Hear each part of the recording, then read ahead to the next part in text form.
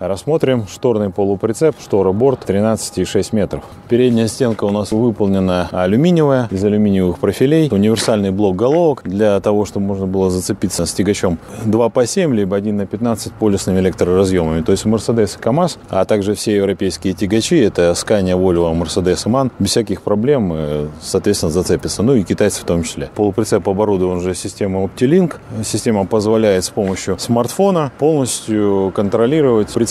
И это у нас штороборд Сами видим, что вот у нас борт 600 миллиметров. Борт у нас выполнен с помощью стяжек. Борт он идет полностью насквозь прокручен, проходит через него направляющая, которая связывает все алюминиевые профиля, не дают борту ходить, обеспечивает жесткость. По концам имеет закрепление, он еще и протянут. Вот эти, соответственно, все стяжки. На каждом борту по 4 стяжки. Это очень важно, потому что не все производители так делают, и импортные производители далеко так не делают. Мы используем только оригинальные комплектующие. Например, здесь стой представлен представлена фирма Хистал. Мы видим вот эту птичку, и это Хистал. Это оригинальный немецкий производитель Хистал. Оригинальные ноги САФ.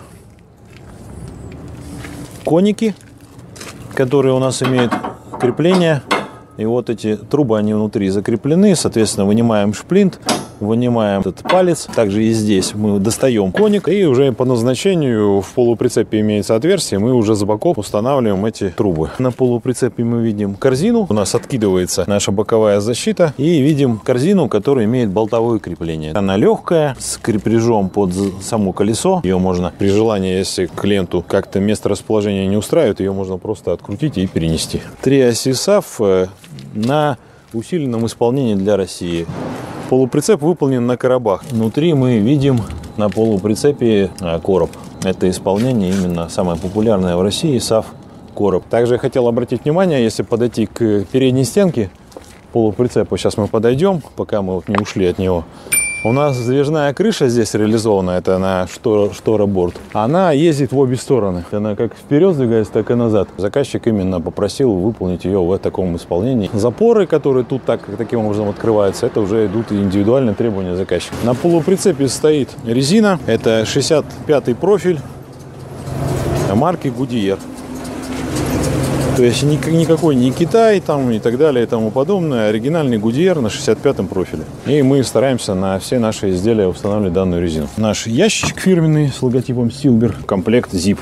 В комплекте ZIP мы, соответственно, видим ступичный ключ и сопутствующие другие элементы. Мы клиенту выдаем такой красивый наборчик, такой сумочки. Опять же со стилбером. Все здесь аккуратненько упаковано. Ящик достаточно вместительный, ключики все на месте. Ящик тоже фирменный, итальянский. Фирма Дакин. Также на полуприцепе хотел бы обратить внимание, установлен сдвижной механизм компании Эша, Германия. Здесь, соответственно, натяжитель для шторного полуприцепа. Вот здесь мы видим также ручку для крепления двери то есть это не какой-то не крючок, а именно полноценный механизм в виде ручки. То есть дверь мы открыли, закрепили. Дверь здесь выполнена сейчас. Это у нас полиметалл. Опять же, по желанию клиента поставлен полиметалл. А можно объяснить таким образом, это фанера, зашитая в металле, блокированном металле. Но, опять же, это желание клиента Стандартно будет алюминиевый ворот. Европейское исполнение. Здесь мы видим оригинальный брус алюминиевой фирмы Таркер, Италия. Фонари задние. Также фары рабочего освещения. Обращаю внимание, это фары рабочего освещения, это никакие не фонари. Они отдельно стоят. Вот э, при сдавании назад они включаются. Соответственно, клиент может видеть заднюю зону. А если посмотреть на ворота, вот они у нас в закрытом виде выглядят таким образом. То есть по две штанги. Все открыто. Петли все подлежит также, с одной стороны, удобно, все открыто, легко обслуживать. Нигде ничего не зашито, вот они все штанги мы видим. В случае каких-то нюансов их можно исправлять, обслуживать, то есть легко. Вот полуприцеп заранее открыли. Я в него заберусь. В принципе, достаточно удобно. Здесь мы видим крюк, мы его отстегиваем и, соответственно, сдвигаем непосредственно уже сдвижной каркас крыши. Алюминиевые борта, крепежные элементы уже для крепления груза. Они выдерживают до двух двух с половиной тонн. Это фирма не какой-то там, опять же, Китай. Если коллегу попрошу, то здесь мы увидим, вот, две с половиной тонны Зуира написано. Это не какая-то там не газелевская стремянка, а это именно оригинальная э, стремянка, уже зуировская, две с половиной тонны выдерживает. Они выполнены по всей длине полуприцепа. Версия под конники. Конники мы видели под полуприцепом крепления. Это заглушка ну, чтобы, соответственно, грязь не попадала, когда они не нужны. Заглушечку вставили, поехали. Нужны конники, открыли эти отверстия с двух сторон, слева, справа они находятся.